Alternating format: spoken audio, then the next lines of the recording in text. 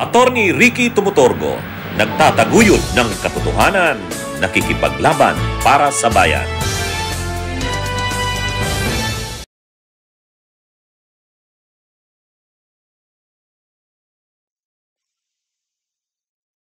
Mga kabunyog, mga kababayan, saan man pong panig kayo ng mundo, nasa Pilipinas man po kayo o nasa labas ng bansa, anong oras man po dyan sa inyo ngayon, umaga man po, tanghali, hapon, gabi, ang ating pong pagbati ng magandang araw, Pilipinas at mundo. So dito po sa ating regular na programa tuwing umaga, araw-araw, uh, dito po natin unang tinatalakay ang pinakamainit na issue at kaganapan sa ating bayan uh, kada araw. At sa araw na ito, ang mainit na balita, Senate begins deliberation on economic charter change. Yan po ang laman ng halos lahat ng balita ngayon. Nagsimula na daw ang deliberasyon o pagdinig ng uh, Senado kaugnay sa sinusulong na economic chatcha. O yan mga kabunyog. Ha? So ang title ng ating topic ngayon, nagsimula ng sumayaw ng chatcha ang Senado. Ang tagal-tagal, hindi sumasayaw ng tchatcha ang Senado, ayaw ng Senado ng tchatcha, ngayon biglang uh, sumayaw ng tchatcha. Anong naging dahilan? ha? Bakit biglang nagbago? Ang ihip ng hangin. Hmm. ha, mga kabunyog, mga kababayan. Ha? Na ano? Dati saludo tayo dito sa Senado eh. Ayaw nito sa tchatcha. Kahit anong klasing tchatcha pa man, political chatcha o economic chatcha, ang sabi ng Senado, hindi chatcha ang kailangan ng bansa. Hmm. Napakaraming problema ang bansa na mas dapat harapin kaysa mga chatcha-chatcha na yan. Yan, dati yan. dati yan. Ngayon wala na. Ha? Sumayaw na rin ng chatcha ang Senado. Oh. Bakit? Bakit pumayag yung Senado? Ay kasi nga, may people's initiative na sinusulong sa Kamara. Ang kondisyon ng Senado, itigil na yung People's Initiative, payag na kami sa tchatcha, basta't wag lang People's Initiative. Ang dali namang napasurinder nitong mga senador na to. Wala talagang mga paninindigan. Ha? Pinaglalaruan lang sila ng magpinsan eh. Di ba, mga kabunyog? Ha? Pinaglalaruan lang. Hindi talaga makatulad sa mga tulad ni Hubito Salonga. ha? uh, nung mga panahon na, nung mga panahon, bago yung martial law, ang mga senador ng Pilipinas, Raul Manglapus, yan. Jose W. Pepe Jokno, Lorenzo Tanyada Sr. O yan, yan yung mga ano, Hubito Salonga, Ninoy Aquino, Iba Estrada Calao. O yan yung mga senador noon. yan yung mga senador noon. Kagalang-galang may paninindigan. Oh. Pag upo ni Cory Aquino noong 1986, nagkaroon ng 1987 Constitution, kaagad nagpa-eleksyon ng mga senador. Ah, yung na-elect na mga unang batch ng senador under the 1987 Constitution, matino pa yun. Obito Salonga, Bigberto Tanyada, Chupisto Ginguna, o yun, yun yung mga ano noon eh, Boots Aquino. Kahit yung mga yon, naalala ko noon, 1991, Ha? Pinagdidebatehan yung US military bases kung papad, ipagpapatuloy pa o hindi na.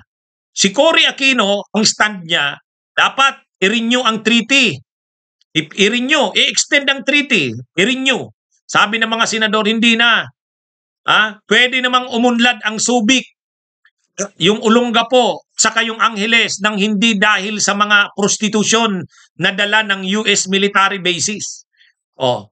Kasi ang sabi noon, Kapag inalis ang US military bases, babagsak ang ekonomiya ng Subic sa Olongapo at saka yung Angeles kasi nakadepende sa prostitution halos yun eh. ang ang uh, negosyo doon nakadepende sa prostitution. O ano nang mangyayari sa Subic saka sa Clark? Sabi ng mga senador noon, sila Ubito Salonga, hindi, wag tayong matakot. Kaya nating ibangon ang Subic at ang Clark. O, tingnan nyo ngayon ang Clark. Ano na ngayon ang Clark? O di ba mayroon ng international airport? Clark International Airport. Tingnan nyo ngayon ang Subic. Subic Bay Metropolitan Authority. O, ang ganda-ganda na ng Subic ngayon. Wala na, hindi na tulad nung dati na nabubuhay ang ekonomiya ng Angeles, Angeles City at ng Olongapo dahil sa prostitution. Ngayon wala na. Pero nung panahon na yon, pre-nature din sana ni Cory noon yung mga senador. Pero sumunod ba ang mga senador? Hindi. Nanindigan ang Senado kung ano sa tingin nila ang tama. Oh, nanindigan sila sa longga. Ganyan ang senador noon. Ay ngayon, ah, walang bi ang mga senador ngayon. Tinakot lang nila Marcos at ni Romualdez ng People's Initiative. Sumurinder na ang senador. Sabi ng mga senador nila ano, Tubiri, payag na kami sa tsatsa. Basta't economic tsatsa lang. At saka, wag nyo lang ituloy na yung People's Initiative. Oh. Kaya ngayon, nagkakaroon na ng pagdinig ang Senado. Sumayaw na ng tsatsa. Sumayaw na ng tsatsa, mga kabunyog. Ah? Pero dati, ah, Si Robin Hood Padilla, siya yung chairperson ng Senate Committee on Electoral ano, ano on Constitutional Amendments and Revisions of the Codes. Anong nangyari? Anong nangyari? Ha? Anong nangyari sa proposal ni Robin Hood Padilla? Sabi ni Robin Hood Padilla, economic check lang naman ang babaguhin natin. Wala tayong babaguhin iba.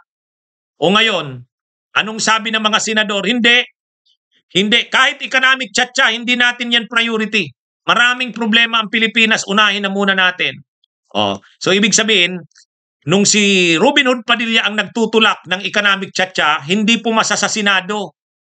O ngayon, biglang surrender ang Senado. Sabi ng Senado, surrender. Payag na kami sa economic chatcha. ha? Wala na.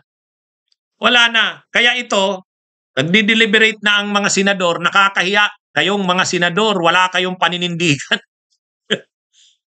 wala kayong paninindigan eh. Unang-una, maraming mga mga misconceptions at saka no, kasinungalingan diyan sa economic chatcha na yan. Ano ang halimbawa? Ah, ano ang halimbawa ng kasinungalingan? Kay Ranilyn Vicente, salamat sa pag-send ng donation ha. Ang unang kasinungalingan, dahil itong economic charter change daw, kailangan ito para makapasok ang dayuhang pumumuhunan sa Pilipinas. Kasi daw ang ating konstitusyon restrictive sa pagpasok ng dayuhan. Oh, hindi raw, ano raw tayo, masyado daw tayong istrikto sa pagpasok ng mga dayuhang negosyo. Rogelio Tabuso, salamat sa pag-send ng stars ha. ha? Oh, sagutin natin yung tanong na yan. Totoo ba na ang 1987 Constitution ay mahigpit sa dayuhang pamumuhunan kaya hindi tayo umaasenso? Ha? Ang sagot, hindi. Ang sagot, hindi totoo yan. Halimbawa, ang isang computer company, magtatayo ng negosyo sa Pilipinas, bawal ba sila? Hindi. Kahit 100% na foreign-owned, kung isang computer uh, company magbubukas sa Pilipinas, halimbawa Dell Computer, paggawaan ng sasakyan, halimbawa Toyota or Honda, magbubukas sila ng paggawaan ng uh, sasakyan sa Pilipinas, bawal ba sila? Mayroon bang pagbabawal na 100% pag-aari nila yung negosyong itatayo nila? Wala. Wala. Hindi bawal yun. Kahit 100%. Sabi niya, kala ko attorney hanggang 40% lang. Mali. Kung ang papasok na negosyo sa Pilipinas ay manufacturing, paggawaan ng mga makina, sasakyan, kahit 100% pag-aari ng dayuhan, walang nagbabawal dyan. Mag, magtatayo ng malaking mall sa Pilipinas, pag-aari ng Amerikano, bawal ba yon? Hindi. Kahit 100% pa yung pag-aari ng Amerikano. Hotel, five-star hotel, magtatayo sa Pilipinas, wala rin. Textile, textile industry, magtatayo sa Pilipinas, Koreano. Pwede bang 100% pag-aari nila? Oo. Oo. Walang problema. Kahit 40% lang ba pag corporation? Hindi. Kahit corporation, foreign corporation, 100% pa rin. Yun kasi yung hindi pinapaliwanag ng mga kongresista at senador eh. Hindi naman totoo na may 40% na limit. Mali yun eh mayroon lang mga bahagi ng ekonomiya ang 40% lang ang pag-aari ng dayuhan. Mayroon lang. Iilan lang yun eh. Iilan lang yun. Halimbawa, public utilities. Ah, public utilities, power. O ibigay ko na ang pinakahalimbawa. National Grid Corporation. Ano ba yung National Grid Corporation? Yan yung malalaking transmission towers ng Napocor. Yan ang National Grid Corporation of the Philippines. Private na yan ngayon. Dati, pub, ano yan, government owned yung Napocor. Wala na. Nag-privatization na tayo. Pero, yung power, kasi public utility yan, hanggang lang 40% ang dayuhan dyan. Kaya yung NGCP, yung NGCP, Bagamat pag-aari ng China, hindi sila lumalampas sa 40% kasi may constitutional provision. Bakit? Kasi public utility yan. Oh, so ang punto ko, kapag public utilities, ang dayuhan 40% lang. Pero kung hindi naman public utilities, mall naman yan, pagawaan ng sasakyan, pagawaan ng computer, oh, pagawa, ano naman yan, hotel. Wala, kahit 100%, mas Walang problema doon. Mayroon lang tayong mga binabawal ang dayuhan na maging 100%. Ang limit ay 40%. Alin yon? Yun ang inalimbawa ko in GCP. Ang isa pa, telecommunication. Ah, telecommunication. Yung dito telecommunity, pag-aari yan ni, ni Dennis Uy, nag-invite siya ng Chinese investor. Pero yung Chinese investors niya hanggang lang 40% kaya hindi naging pag-aari yan. Bakit? Kut nga tayo sa dito na kasi nagtayo ng mga nagtayo ng mga tower nila sa loob ng kampo. O imagine niyo kung 100% pag-aari ng China, tapos yung mga tower ng dito telecommunity na sa loob ng mga kampo ng military, ano nang mangyayari sa atin? 'Di ba? So ibig sabihin, yung yung sinasabing mga provision ng konstitusyon na nagbabawal sa dayuhan, pili lang naman 'yun. Pili lang 'yun. O tama ka, Fredo Moss. Yung mga condominium, 100% foreign owned, except lupa. Yun. O, di ba? So, ibig sabihin, yung mga negosyo, halimbawa mall, halimbawa call, halimbawa call centers, 100% ano yan, pwede yan 100% foreign owned. Walang problema dyan. Ang binawal lang talaga, yun na nga, public utilities. Public utilities. Hanggan lang 40% ang dayuhan dyan. Ang pangalawang bawal ang dayuhan, lupa. Kasi dapat ang lupa, pag-aari lang ng Pilipino. Pwede ang dayuhan, lease. O lease, magrenta. Bakit? Pag, pag ang dayuhan pwede nang bumili ng lupa, magtataas ang presyo ng lupa ng mga 100%. o, halimbawa, dito sa amin sa Naga City, 15,000 per square meter ang presyo ngayon. Nahihirapan na nga tayong bumili noon kasi wala tayong perang mga Pilipino eh. Pag mga dayuhan na pwede nang bumili ng lupa, yung 15,000 per square meter, baka maging 50,000 per square meter yan. Kaya ba yan ng dayuhan? Kaya, kasi may pera ang dayuhan. So anong mangyayari sa Pilipino? Hindi na makakabili ng lupa sa sariling bansa kasi dayuhan na ngayon ang bibili ng mga lupa kasi mamahal na yung lupa eh. Oh, 'di ba? Yan yung yan yung implication ng lahat ng yan na sinasabi ng mga senador na yan, mga kongresista na yan. Kaya nga nung una, tama yung stand ng mga senador. Well, ang stand ng mga senador, wala. Kahit economic chatcha, hindi yan. Ang isipan muna yan. Di ba? Ngayon, anong ginawa ng ano? Anong ginawa ngayon nila Marcos, nila Romualdez at payag na ang Senado, pumayag na ngayon. Oh, ang, ang gagawin nila, ibubukas yung lupa natin sa dayuhan. So, tingnan nyo yung example na lang, yung mga building dyan sa Paranaque, Las Piñas, Pasay. Di ba? Yung mga building dyan, nagmahal ng nagmahal ang renta. Bakit? Kasi pumasok yung mga pogo. Yung mga pogo, nagrenta sila doon. Mahal ang renta nila. Oh, hanggang sa dumating yung punto na tayong mga Pilipino, hindi na natin kaya magrenta kasi mahal na. Yung dayuhan, kaya nila. Ganon din ang mangyayari kapag pinayagan natin ang dayuhan magmay-ari ng lupa. Ibilihin nila ang mga lupa natin. Yung mga may-ari ng lupa, ibebenta naman nila yung lupa nila kasi mahal na yung presyo eh.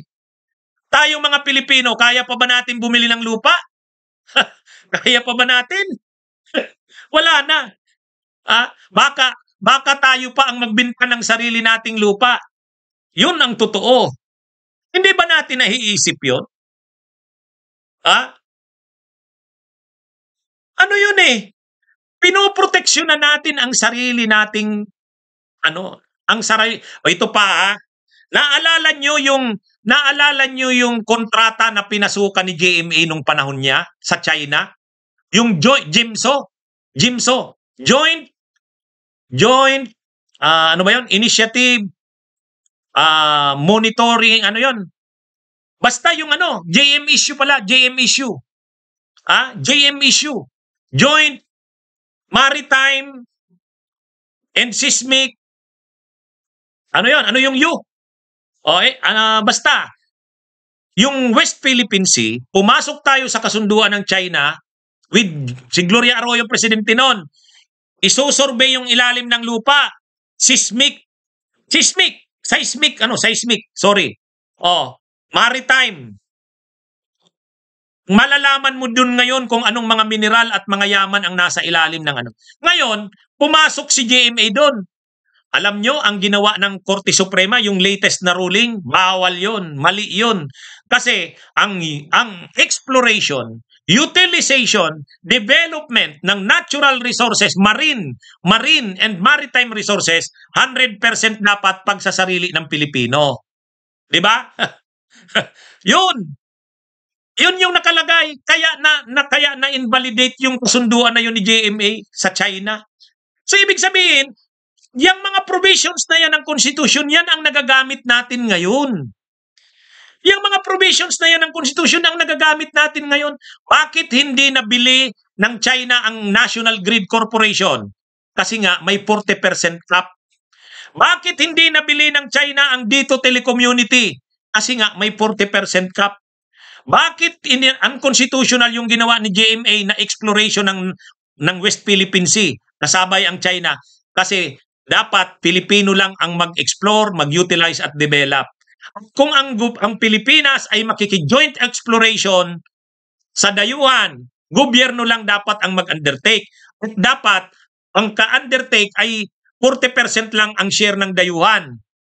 Hindi papasad dun yung state-owned ng China kasi 100% owned yun. Kaya, na-unconstitutional yun. So, ibig sabihin, tayo ngayon, Natutuwa tayo na hindi pag-aari ng China ang National Grid Corporation hanggang 40% lang sila. Natutuwa tayo na yung DT Telecommunity ni Dennis Oy hanggang 40% lang sila. Natutuwa tayo na yung joint monitoring, yung ay joint joint ano uh, uh, exploration Ah, yung exploration, yung mapping ng West Philippine Sea na ginawa ni Gloria sa China, unconstitutional. Ano ang basis? Ano ang basis noon? Yung constitutional provision na hindi tayo pwedeng makipagsosyo sa dayuhang gobyerno sa pag-i-explore at develop, utilize ng ating mar- maritime resources. Oh, 'di ba?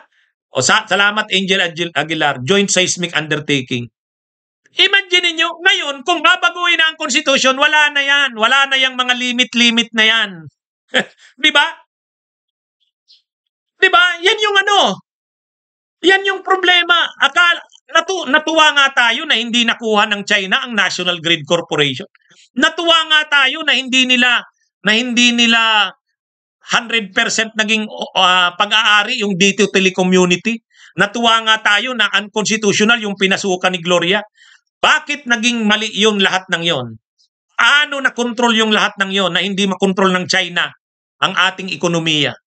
Dahil dyan sa mga constitutional provisions na yan. At ngayon, aalisin na yan. Aalisin na yan ng Senado. Umayag na ang Senado sa Chacha dahil lang takot sila na i-dissolve sila sa People's Initiative. Andali nyo namang mauto. Di ba? Andali nyo namang mga uto, mga senador. Di ba? Wala talaga eh. Ako, payag ako na ang dayuhan magnegosyo sa Pilipinas. Okay na yan.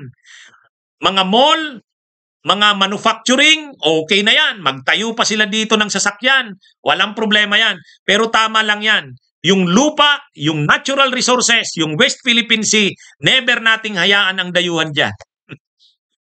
Di ba? Sa telecommunication nga at saka power, hindi naman totally binawal ang dayuhan. 40% lang sila. Oh, 40%. Pero doon sa iba, okay lang na 100%. Kaya wag tayong paluloko diyan sa mga senador na yan. Ha? Ngayon, ang sabi nila, hindi tayo uunlad kung walang ano, kung hindi natin ibubukas ang ating lupa at saka mga natural resources. Sus! Bakit ang Vietnam, bawal din naman sa Vietnam magmay-ari ng lupa ang dayuhan, bakit doon nag invest ang mga dayuhan sa Vietnam? Oh, bakit mas doon nila gusto? Kasi walang korupsyon doon. Walang korupsyon doon. Pinapatay ang korap doon. Binibitay. Di ba? Sa Pilipinas, kurakot ang mga opisyal ng gobyerno. Grabe ang red tape. Yung ease of doing business ng dayuhan, wala. Oh, kaya ayaw ng dayuhan sa atin. So ang problema, hindi konstitusyon. Ang problema natin, mga politiko at saka yung sistema ng negosyo sa Pilipinas, kurakot dito. Di ba? Ayusin lang natin ang gobyerno natin. Pag nakita ng dayuhan, ah, ang Pilipinas, walang korupsyon dyan, matino dyan ang gobyerno. Hindi na kailangan baguhin ang konstitusyon. Baguhin natin ang ano mga mga nakaupo sa gobyerno. 'Di ba? Yan 'yun. Ang Vietnam, socialist republic 'yan. Yung lupa doon, pag-aari ng gobyerno. Ang mga negosyo doon na malalaki, pag-aari ng gobyerno. Kunti lang yung binukas sa mga dayuhan. Pero bakit doon nagninegosyo ang dayuhan? Ha? Kasi walang korupsyon. Yun yung ano doon eh. Yun ang welcome ng Vietnam ngayon. Tinatalo tayo ng Vietnam kasi yung ease of doing business at saka yung korupsyon. Alam nyo ang mga dayuhang negosyante, mayroong tinatawag na corruption index. Pag nakita nila na ang bansa na yan, nasa top sa mga pinakakurap na bansa, ah, wala. Magdadalawang isip na yan. Magdadalawang isip na yan eh. Di ba? Yan yung totoo. Huwag tayong maniwala sa panluloko ng mga senador na to na ngayon nagtsatsa na na kapag binukas ang ating mga resources, natural resources, kapag ibinukas ang lupa natin, papasok na ang dayuhan. Oh, Chinese, papasok yan. yan yung totoo, mga kabunyog. Justice Salve, mure ang labor nila kaysa sa atin. Ha? Mura ang labor nila. Totoo ba yon? Sa Vietnam kasi, ito ha, oh, sa Vietnam, ang pamasahe ng mga ng mga workers sagot ng gobyerno. Ang bahay nila sagot ng gobyerno. Education nila sagot ng gobyerno. Ang hospitalization pag nagkakasakit sagot ng gobyerno. Ibig sabihin sagot lahat ng gobyerno 'yon. Transportation, housing. Sa Pilipinas, kaya kahit sa kanila bumaba ang sweldo nila, walang problema. Kasi sagot naman ng gobyerno lahat eh. Pagkain na lang ang sagot ng ano eh. Pagkain na lang ang sagot ng ng uh, tao doon eh. Oh, dito sa atin, dito sa atin, anong sagot ng gobyerno? Wala. Kung sagutin ng gobyerno, bawat manggagawa, mayroong card. Mayroong card. Pag sumakay sa bus na pag-aari ng gobyerno at saka sa LRT, libre. O di kahit na wag mong tasan masyado ang sweldo, kasi sagot naman ng gobyerno ang pamasahe ng mga manggagawa eh. Tapos yung pagpapaaral sa mga anak, sagot ng gobyerno. Yung housing, sagot ng gobyerno, wala nang hulog-hulog. Oh, pang poproblemahin ng tao? Pagkain na lang. Ay yung pagkain, kaya na yan doon sa kita niya kahit mababa ang sweldo. Ang problema sa Pilipinas, napakababa na nga ng sweldo. Ano ba ang sweldo dito sa amin sa Naga City? 380 pesos. Paano nyo masasabing mataas ang sweldo sa Pilipinas? Mataas ba ang 380 pesos? Sige nga. Sabihan nyo nga ako na mataas ang 380 pesos. Alukuhan niyang sinasabi na kaya daw hindi pumupunta sa Pilipinas ang mga negosyante kasi mataas daw dito ang sahod. Inuulit ko sa inyo, magkano ang regional minimum wage sa, Pil- sa Bicol? 380 pesos. Sabihin nyo nga sa akin, mataas ba ang 380 pesos? ha? O sige nga, Sabihin nyo sa akin ngayon, harap-harapan, mataas ba ang 380 pesos sa isang araw? 8 hours na trabaho. Ha? Ewan ko. Ang sweldo sa Metro Manila, 540 yata ngayon. 540. Mataas ba ang 540 pesos? Ha? Sa China, 120 pesos lang ang araw, pero sagot ng gobyerno ang mga pangangailangan ng tao. Sa Pilipinas, walang sinasagot ang gobyerno. Pag nagkasakit ka, libre lang yung ospital. Pero yung doktor, yung gamot, wag na tayo, wag na tayong maglukuhan. Oh, yan ang totoo. May kakilala ako ha, may kakilala ako. Nag-aaral siya ngayon sa Belgium. Alam nyo ba doon pala sa Belgium? Ang mga estudyante may card. Libre sila pag sumakay sila sa ano? Pag sumakay sila sa sa bus, pag sumakay sila sa train. May may ano, estudyante yan ha. oh, sabi ni Joel De Lusa, sobrang liit po yan, pagkain pa lang buong araw. Di ba? 380 pesos ang minimum wage dito sa Bicol. 540 yata sa Metro Manila. Mataas ba yon?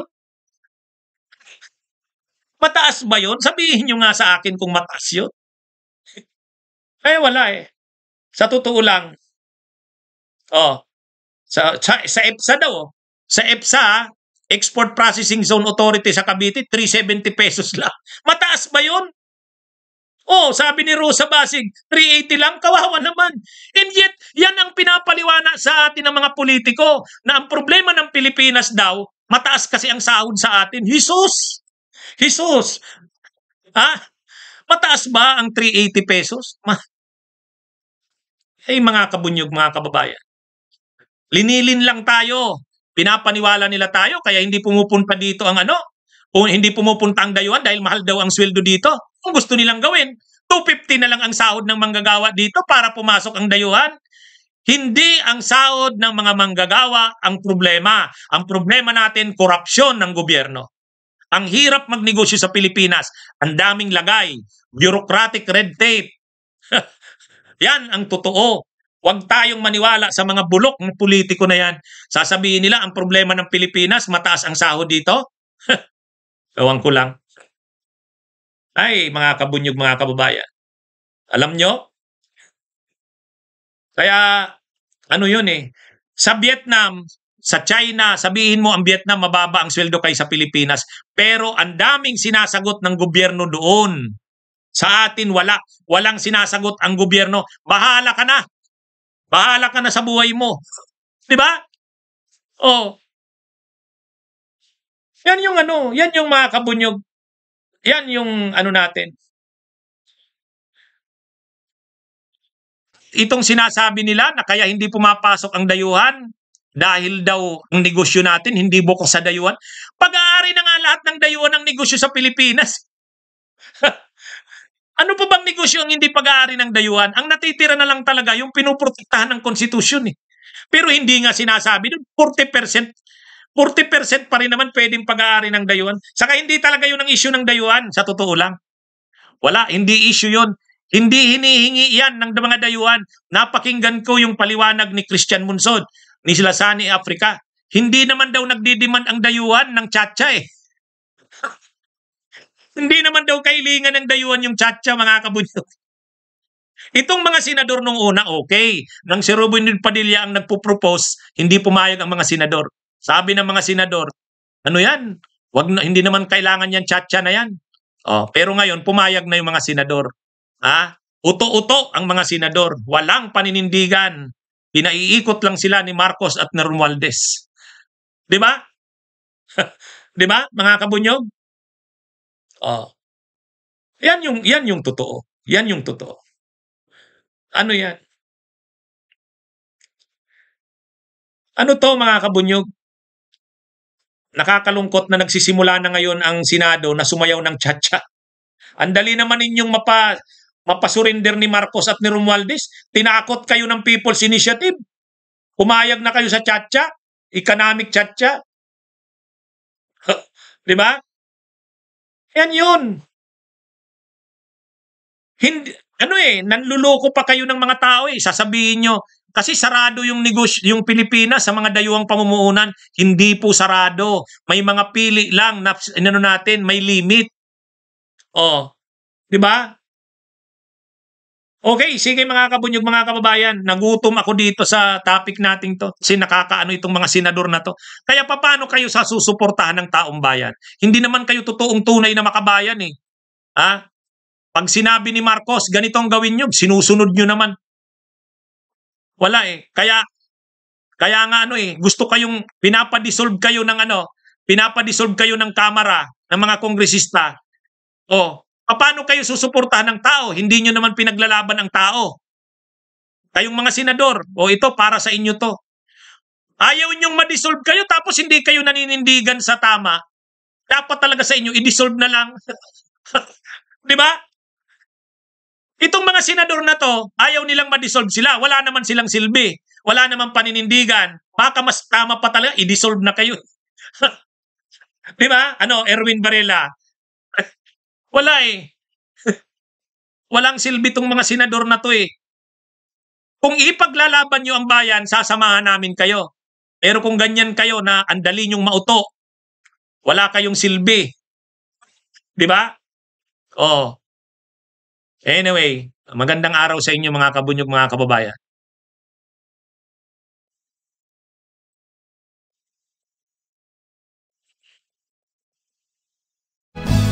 Bunyog, bunyog, halikan na kasama ka. Bunyog, kapag buklod ay may pag-asa. Luzon, Visayas, Mindanao, isa ang pananaw. Sa bagong Pilipinas ang bunyog isisigaw. Bunyog, bunyog.